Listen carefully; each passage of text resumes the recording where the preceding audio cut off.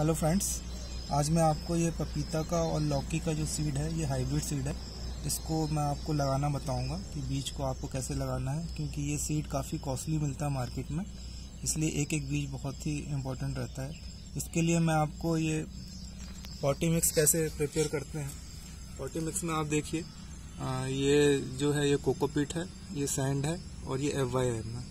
इसको कैसे मिलाते हैं, साथ ही साथ इसमें कौन कौन से फंजीसाइड्स मिलाने हैं? फंजीसाइड्स मैं आपको बता रहा हूँ। फंजीसाइड्स में ये देखिए, ये ये दानेदारी आपको दिख रहा है। ये फर्टिलाइज़र है। फंजीसाइड में मैं आपको बताता हूँ, ये दानेदार फर्टिलाइज़र है। ये फंजीसाइड है, ये कॉपर ऑक्सीक्लोराइड कहलाता है। ये कॉन्टेक्ट फंजीसाइड है। इसको हम सॉइल में मिक्स करेंगे। इसके बाद ये कार्बेंडाजिम है। कार्बनडाजिम से हम बीज का उपचार करेंगे सीड ट्रीटमेंट जिसको बोलते हैं। उसके बाद ये ईपीएन है एंटमो पैथोजेनिक नेमेटोड ये जो सॉइल में जो भी नेमेटोड्स की प्रॉब्लम है, कीड़े की प्रॉब्लम है, उसको ये खत्म करता है। इसके साथ साथ मैंने ये तीन पॉट लिए हुए हैं।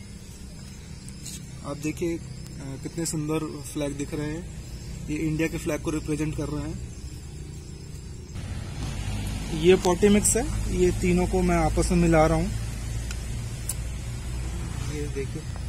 तीनों की मैंने बराबर क्वांटिटी ली हुई है क्योंकि सीट को मैं पॉड में लगा रहा हूँ। ये पॉटी मिक्स मैंने तैयार कर लिया था। उसके बाद फिर मैं, ये फंजीसाइड है।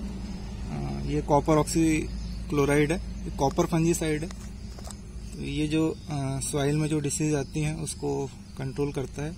इसको मैंने ये देखिए, एक स्पून है ये, मैं इसमें मिक्स कर दूँगा। इसमें डालने के बाद ये जो सॉइल मिक्स है या पॉटी मिक्स है, इसको बहुत अच्छे से मिक्स कर लेना है। फंजीसाइड्स के बाद में ये मैंने फर्टिलाइज़र इसमें थोड़ा सा डाला हुआ है। ये फर्टिलाइज़र आप देखिए ग्रेन्यूल फर्टिलाइज़र है। इसमें मैक्रो और माइक्रो न्यूट्रेंट दोनों हैं तो इसमें ये फर्टिलाइज़र मैं डाल देता हूँ।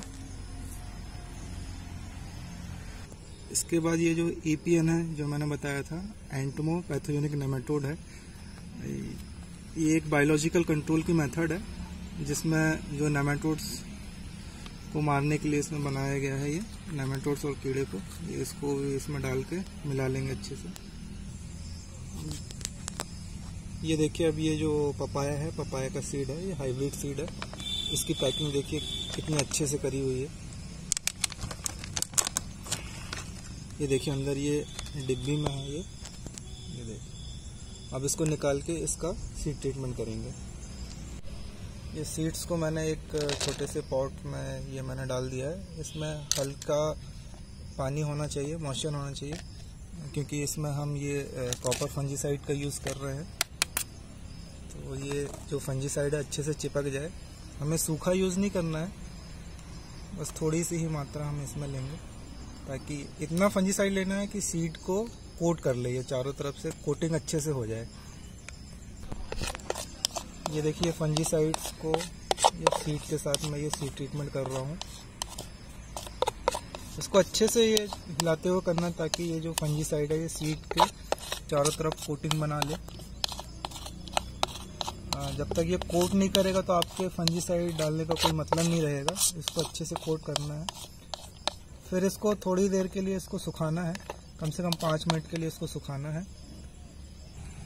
जब तक वो सीड सूख रहा है, जब तक हम ये पॉट में हम अपना पॉटी मिक्स भर लेते हैं। ये पॉट में होल्स होने बहुत ज़रूरी है। आप ये देखिए, मैंने ये कितने सारे होल्स करके रखे हैं इसमें। कम से कम दस होल होंगे इसमें, आठ से दस होल करीब हैं इसमें।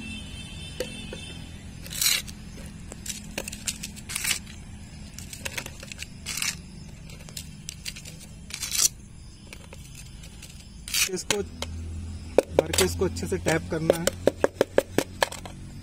टैप करने के बाद ये जो हमने ये सीट का ट्रीटमेंट किया हुआ था, ये सीट ट्रीटमेंट को ये ट्रीटेड सीट को ये सब तरफ़ डालना है। एक ही जगह पे नहीं डालना, नहीं तो बहुत सारे सीड एक ही जगह पे निकल आएँगे। इसको इवनली चारों तरफ़ इसको डालना है। इस तरह से इनको बिखेर दीजिए चारों तरफ़। बिखेरने के बाद फिर इसके ऊपर से भी हम ये कॉफ़ी मिक्स डाल देते हैं हल्का हल्का।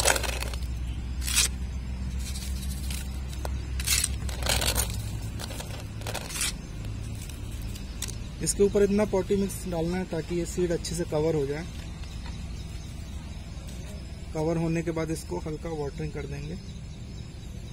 वाटरिंग मतलब?